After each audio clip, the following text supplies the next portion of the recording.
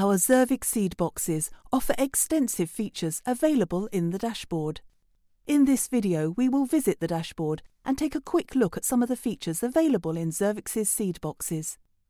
The dashboard is the first thing you are presented with when you log in. On the left side, you will see links to get to all of the sections, and on the right side, you will see icons for some of the more popular areas of the dashboard. Let's go through each section of the dashboard.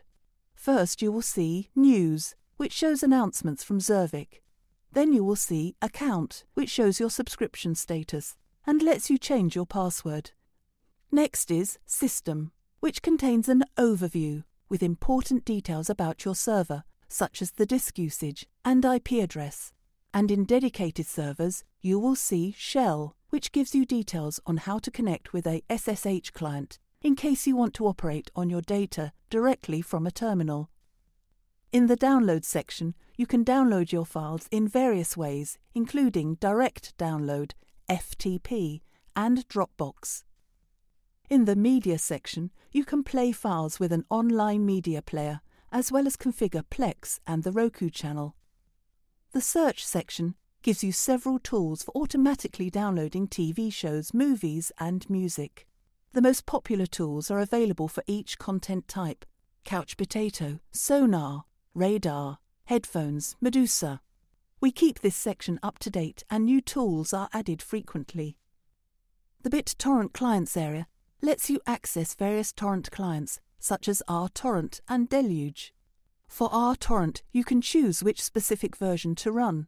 Some trackers insist on users using an old but very stable version while others want you to run the latest official one. Or you may want to choose a bleeding edge version with the last changes, even if they're not part of a stable release yet. You can also select from three different front ends RUTorrent, which is full featured and includes lots of improvements from the official version, or RTGUI and WTorrent, which are really compact and run well on almost any browser. In dedicated servers, the virtual machine section provides you with a Linux virtual machine and Windows virtual machine for your use. The Services section lets you stop, start, and restart all of the services running on your Seedbox.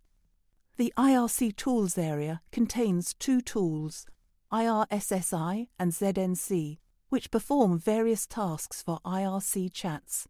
You can access IRSSI from your web browser or use ZNC as a bouncer to keep you protected when you connect using your own client.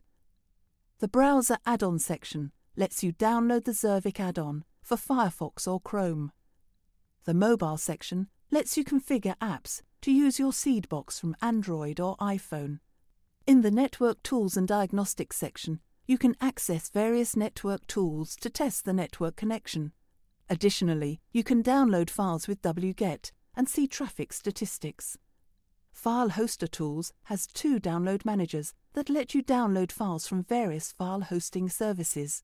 The Privacy Tools section lets you configure a VPN or proxy to protect your privacy by sending your internet activity through the Seedbox's connection. The Newsgroups area lets you download files through a Usenet subscription using SABnzbd. The Recovery section has options to reset RUTorrent settings or RTorrent's cache. Finally, the Referral Program section gives you your link to participate in Xirvik's referral program. We hope you enjoyed this overview of the services available to you in your Xirvik server. Thank you for watching and see you in the next tutorial.